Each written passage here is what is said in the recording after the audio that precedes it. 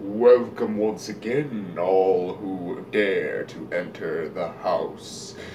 We are here for the Visual Vapor Reviews Halloween Special. Welcome once again to this wonderful place, a place of mystery, clouds, fog, and reviews. We are going to be taking a re review of Overtime from use of the Athena Squonk by Geek Vape. I hope you'll enjoy me on this wonderful quest as we unravel the mysteries of the Greek goddess Athena, along with some of our new flavor to boot.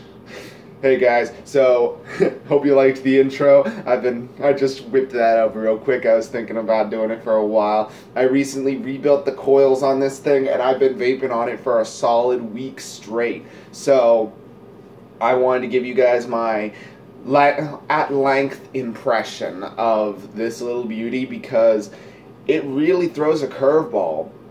So even if you guys are just starting out with um, with building for review for your um, RDAs and whatnot. This is an RSA rebuildable squonk atomizer that brings a new dynamic to what's going on with it. So basically something to note um, if you're just starting out building and stuff like that this is a great little mod it's easy to install coils on and it really puts out some big whoppers and the best part is you don't have to worry about leaking. So if you guys are really curious about more, um, to learn more about this um, Squonk box from Geek Vape, be sure to go back a few videos and look for the title of the Athena Squonk box. So oh, definitely be sure to check that out. So to use this little beauty, as you well know, there's no chipsets, no screens, no nothing. It's just a mechanical box mod with a little squonk hole and a sliding lock mechanism underneath the fire switch right here. See? And then fire switch here. Really simple to use, instant flavor, instant ramp up time. And of course you have your 18650 battery along with your squonk juice bottle at the bottom. I'm vaping on peach rings, people. Peach rings is an amazing little flavor that a friend that I got for a friend of mine. His name's Austin. He got uh, he gave me, gave me some because I was running out. I have a little bit to hopefully get me through till the day after tomorrow, Friday. So I figured I'd do this Halloween special because I don't really do that much, and I figured what better way to open Halloween up before I go to work than with a nice little vape video with a Halloween special.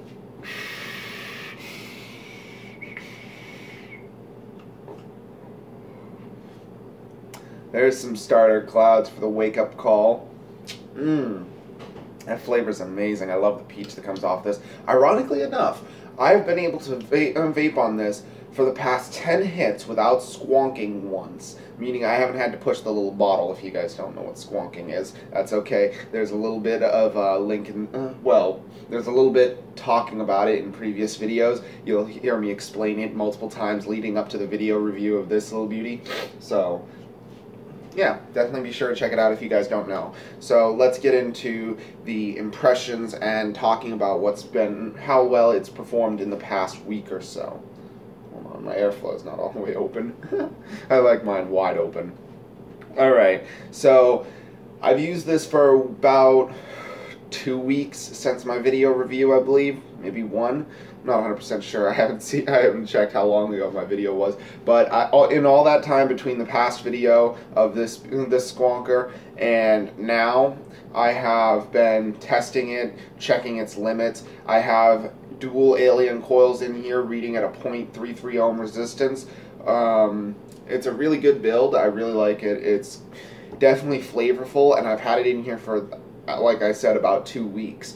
So I've changed out the cotton twice. Well, not really changed it. I put it in the first time when I first got it, and then I changed it out once. So that's a little more accurate. And in all that time it's lasted me, I haven't really had to worry about it. But the first time I put in that cotton, I got something along these these lines. Tiny, right? Well, after I changed the cotton out, because before when I had the cotton before, when I got those tiny clouds, I would have to blow down and pull in really multiple times, and it would just really be annoying just to get any vapor. So now that I've got some uh, some thicker, I mean thinner amounts of cotton, I'm just trying to like experiment until I get it right. But let's show you guys what it can do now.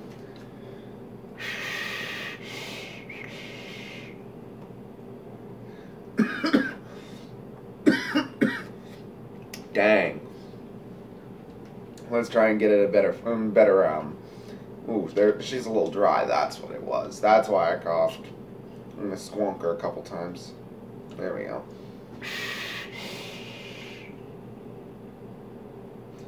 There we go. This thing really rips for such a tiny little mod. I mean, look at this. Compared to my hand, it only comes up to a little bit past my fingers. It's tiny, guys.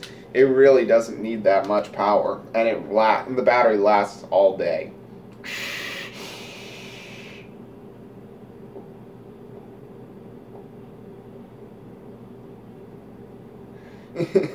Sorry, I had to do a couple of tricks. I haven't really done any tricks on this thing since I've gotten it. But I'm really impressed with the flavor. The peach rings is really strong. It comes off really easy. In fact, I'm going to put this down for just a second. See, I'm going to show you guys a comparison between my Tobe Addy and this one, and the Athena. So, as you guys know, the Avenger, wonderful 234 watt Tobe Addy included with a 0.34 ohm regular wrap, single wrap coil. So there are two coils in here, yes, but there it's just one coil wrapped around in um, one wire wrapped around into coils rather than multiple pattern wraps like the alien coils. So we've got this at 60 watts. Let's see what she does. Hold up. Flavor's a little strong. I don't want to cough on this one if I can help it.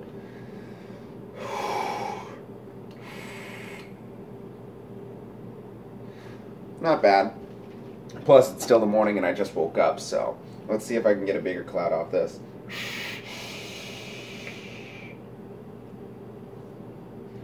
Eh, a little bit bigger.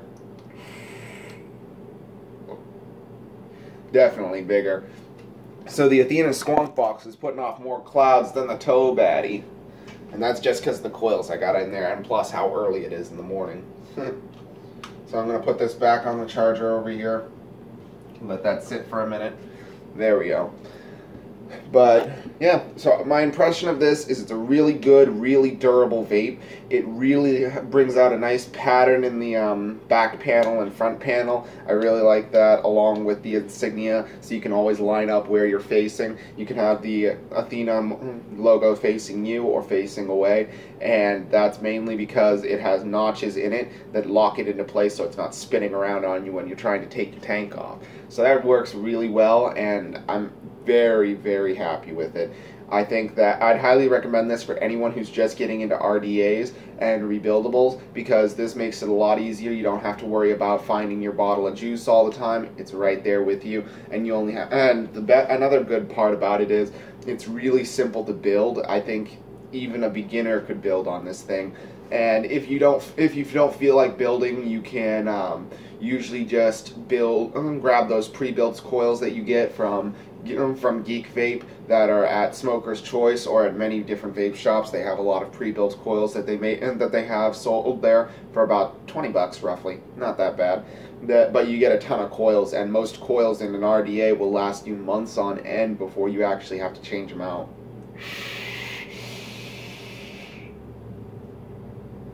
But all in all, I love the airflow at the top. I've never had leaking problems with this in all the time that I've used it unless I physically tilt it upside down, and not many people are going to do that. But the flavor, the flavor, the flavor. Let me have another vape real quick.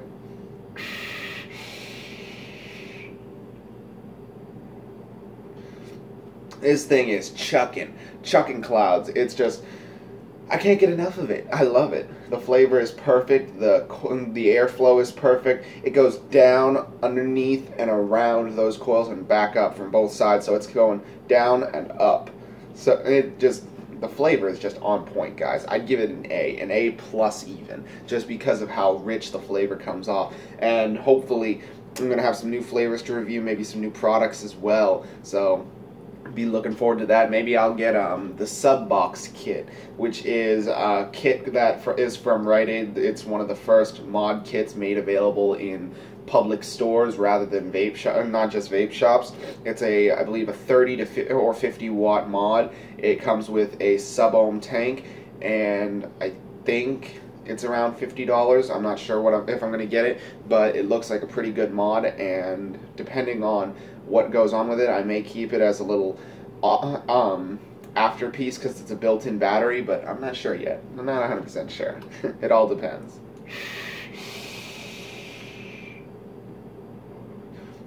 But and maybe I'll have a blast from the past for you guys too, along with um, the Vape and Plus um, pen. Who knows? That was my first real vape, so to speak, but not my first huge cloud chucking. It was just my first vape in general. So you never know. It all depends on what comes around. So that about wraps it up for these videos. Um, for today, I'm going to be going to work soon, so I want to relax a little bit before I have to go. But I'm really glad I could show you this. Definitely recommend it. The Athena Squonk box from Geek Vape.